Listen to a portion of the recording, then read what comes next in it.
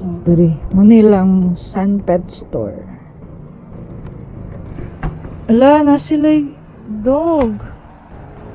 Na sila dog, oh. Ay! Ay! Yan sila rabbit diri, oh. Ay, rabbit. Kailang miming, oh. Hi! Hi! Hi! Yeah! Isda. Ala, nice. Colorful kayo. Neon nilang colors. What's up guys, this is Mavi Boy. Karoon na ata sa Sunset Store, located along Patan Road, Cagayan de Oro. So tara, ubanig ko ninyo, let's discover this pet shop kung saan ilang mga products na ginabenta diri sa sulod. Tara, ubanig ko ninyo.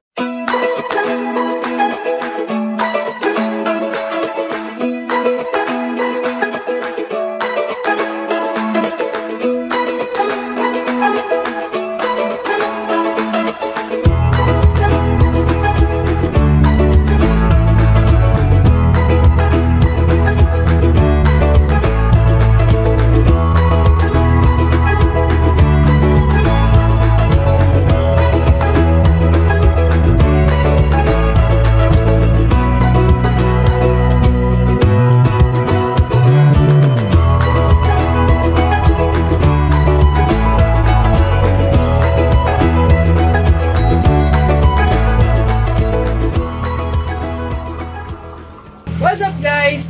I'm here with Kuya Glenn. Siya ang owner diri sa Sunset Store. Natin mga few questions na ito ang giandam na ito ipangutana kay Kuya Glenn. So kaya first and foremost, ganong Sunset Store man ang tawag sa inyong pet store? Ah, ang naitubuan ni nagtapok-tapok ni kay lagi magplano lagi ni nga magtutor sa pet shop. So kumo naman kay nga name good ang pet shop, ano na nga mga mga word. So ngayon nasa kuan sa mo saan. So isumpay na naman. Hilig may mga pet. So isumpay na namo Sun Pet Store. So, makita niyo sa mong sa mong store lagi mga pet. Pet store gid siya.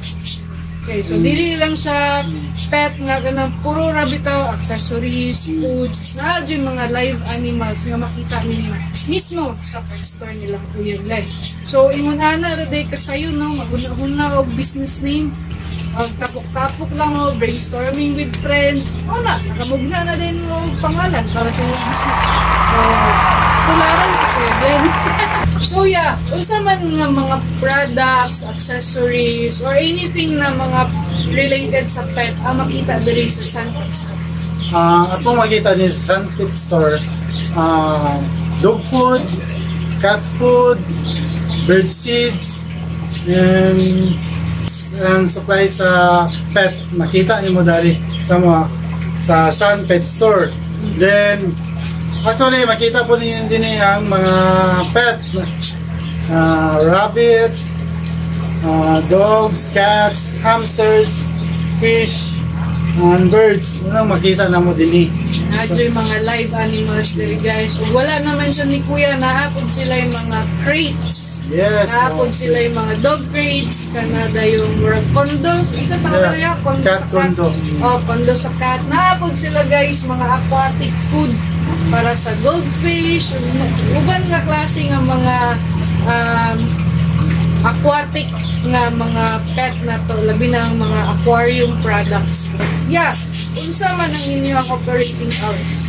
Ah, mo open may ah, 7 to 6.30 from ah, Monday to Sunday. So, imagine 7 days a week. So, open sila from 7 a.m. to 6 p.m. Especially sa ako, pabor kaayo kay 5 p.m. Ay, ako man kumaka-out. So, nato may 1 hour to catch them na open pa. Yeah. Actually, diri ko gapalitan sa ako food. So, kay since ma agyan raman ako sa pagpauli. So, pabor gid kay sa kuha. Na ako'y schedule nga 8 to 5. Yeah, at least na ko 1 hour to catch up para makapamalit ko sa akong mga products. And lastly, ah, ato silang i-invite sa mga ako. Ah, this coming Sunday, in-invite na ko tanan mga dog lovers sa Cagayan de Oro para ni sa ato wala ni gi gipili maski ah Aspin or unsa man ang klase imong dog as long imo ng pet. Dada ito ugma 5 to 5.30 ang calling time. Then mag-start siguro ta na mga 6 sa SM Uptown ang meeting place kay ah, Fountain area. area sa likod sa SM Okay. So yeah, pinaka-importante nga na kung mapangutana nganong kailangan nato makatuod ang ob- og obedience ang ato ang especially atong dog.